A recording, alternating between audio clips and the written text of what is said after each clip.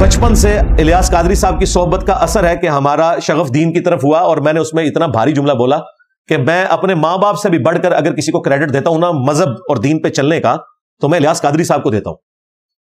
ہمارے ماں باپ بس بھی ضرور تھے، اس طرح کے نہیں تھے، نہ وہ اس لیول پہ ہمیں جانے دیتے۔ دعوت اسلامی کے ماحول کی برکت ہے۔ یہ پگڑی میں میٹرک سے پہلے سے مانتا ہوں۔ اس کا کریڈٹ میں اپنے ماں باپ کو نہیں دیتا، الیاس قادری صاحب کو دیتا ہوں۔ ہمارے اسٹوڈنٹس بھی ہمیں بار بار کہتے ہیں کہ جی وہ آپ نے ایک ویڈیو میں کہا کہ میں سب سے بڑا عالم مانتا ہوں، تو اس سے کیا فرق پڑتا ہے بھائی؟ اگر ہم کسی کی تعریف کریں، اس کا قطن یہ مقصد نہیں کہ اس کے بلنڈرز کو بھی ہم آن کریں گے۔ ناٹ ایٹ آل کبھی بھی نہیں۔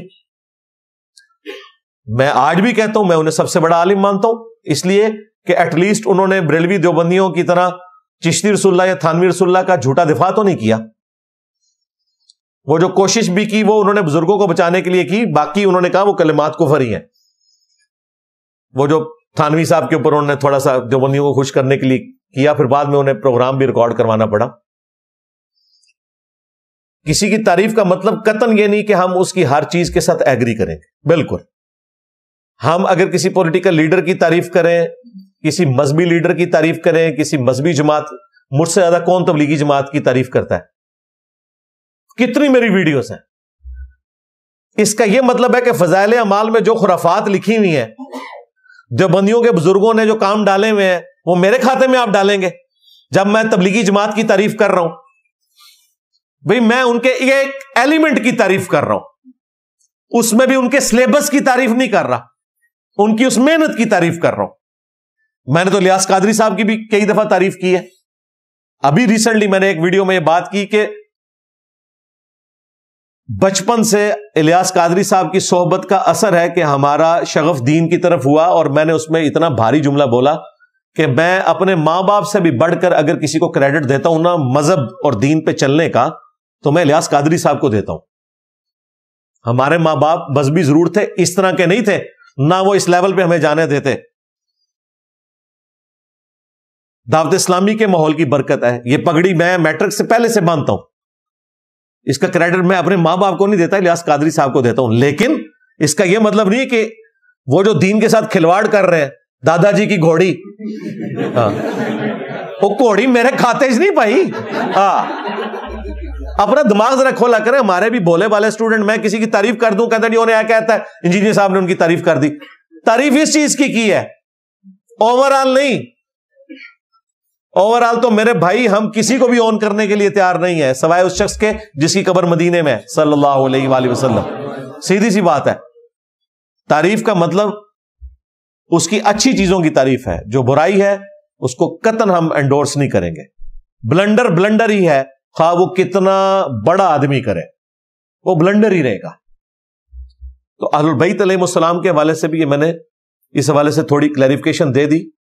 کہ کوئی اس کو مس یوز کرنے کی کوشش نہ کرے، قطن یہ نہ کہیں گے جی قرآن کے اہل البیت ورسز احادیث کے اہل البیت نہیں۔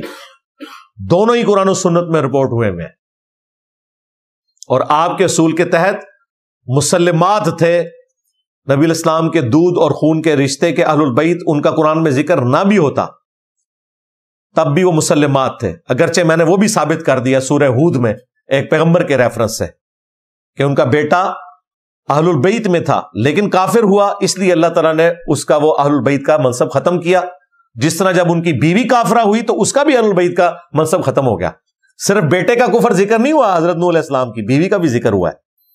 بیلنس ہو گیا۔ ہے اگر بیٹے کا ذکر ہوتا تو پھر گاندھی صاحب نے دوسرے پاس ٹور پہنا سی۔ الحمد دونوں چیزیں ذکر ہوئی ہیں، اس لیے ہم علمی دلائل کے ساتھ پوائنٹ آف ویو اپنا سامنے رکھتے ہیں۔ پھر بھی انشاءاللہ مستقبل میں بھی کوئی اور چیزیں نکلی تو میں ساتھ ساتھ جواب دوں گا۔ یہ ضمن مجھے چونکہ ذکر آ گیا تو میں نے اس حوالے سے ذکر کیا کہ دیکھیں اس زمانے میں بھی کتنی امبیگوٹی کا شکار تھے کہ حدیث بیان ہو رہی ہے حضرت علی کی شان میں غدیر خون کی اور تابعین پوچھ رہے ہیں کہ کیا حضور کی بیویاں آل البیت نہیں ہے جس طرح آج میں نے آپ کو چیلنج کیا ہے کہ آپ محرم کے دنوں میں بالخصوص اور عام دنوں میں بالعموم کسی سنی کو، خواہ وہ بریلوی ہو، دیوبندی ہو، اہل حدیث ہو سو کالڈ سنی سنی تو ہم اپنے آپ کو مانتے ہیں منج کے اعتبار سے ویسے ہم مسلم ہیں۔ سو کالڈ نام نہاد سنیوں کو آپ مسلم شریف کی ٹو فور زیرو حدیث بھیج دیں۔ علی سے محبت نہیں رکھے گا، مگر مؤمن علی سے بغض نہیں رکھے گا، مگر منافق۔ یا کسی مسجد میں لکھ کے لگا دیں گے۔ اور نیچے آپ لکھ بھی دیں صحیح مسلم ٹو فور زیرو۔ شام تک گڑبڑ شروع ہو جائے گی ادھر۔ اور آپ حضرت ابو بکر عمر عثمان کی شان میں جھوٹی روایت گھاڑ کے نا اس قسم کی۔ ابو بکر سے محبت نہیں رکھے گا، مگر مومن وہ کچھ بھی نہیں ہوگا۔ یہ وہ ناسبیت ہے جو آئی ہے۔ آپ کو ایک حیران کن بات بتاؤں کہ صحیح بخاری کے اندر امام بخاری رحمت اللہ علیہ نے حضرت ابو بکر کا کال لیا کہ محمد کے قرب کو اہل بیت محمد کے قرب میں تلاش کرو۔ اور یہ کال وہ امہات المومنین کے چیپٹر میں نہیں لے کے آئے، حسن و حسین کے چیپٹر میں لے کے آئے۔ اس سے پتہ چل گیا کہ امام بخاری رحمت اللہ علیہ اہل البعید کا جب ذکر خیر کرتے تھے، اگرچہ وہ امہات المومنین کو اہل البعید سمجھتے تھے، اس کے باوجود ناسبیوں کا رد کرنے کے لیے انہوں نے حضرت ابو بکر کی سوچ بتائی کہ حضرت ابو بکر یہ کہہ رہے ہیں کہ محمد کے قرب کو اہل بیت محمد کے قرب میں تلاش کرو یعنی حسن و حسین، اور ان کے والد حضرت علی اور ان کی ماں سیدہ فاطمہ علیہ السلام اجمعین۔ ان کا قرب تمہیں نبی الاسلام کا قرب دے گا۔ کمال کی چیز ہے۔ اگر حضرت ابو بکر کو رسول اللہ کے قرب کے لیے اہل البعید کے قرب کی ضرورت ہے اور اس کی وہ ترغیب دلا رہے ہیں۔ تو باقی دشائی کوئی نہیں۔ ہاں۔ اور یہ حضرت بکر کا کال فٹ ان بیٹھتا ہے ترمزی کی اس حدیث میں جو المستدرک الحاکم میں بھی موجود ہے کہ نبی اسلام نے فرمایا کہ اللہ سے محبت کرو کہ ساری نعمتیں اس نے تمہیں دی ہیں۔ مجھ سے اس لیے محبت کرو کہ میں اللہ کا رسول ہوں اور میرے اہل البعید سے اس لیے محبت کرو کہ ان کی نسبت میرے ساتھ ہے۔ تو یہ الحمدللہ مقدمہ بالکل واضح ہے۔ کہ محدثین کے ہاں اہل البعید کے حوالے سے جو ایک کانسیپٹ تھا، وہ بالکل کلیئر تھا الحمد للہ امہات المومنین بھی اہل البعید ہے اور پنجتن پاک کا جو کانسیپٹ ہے، وہ بھی الحمد للہ اہل البعید والا ہے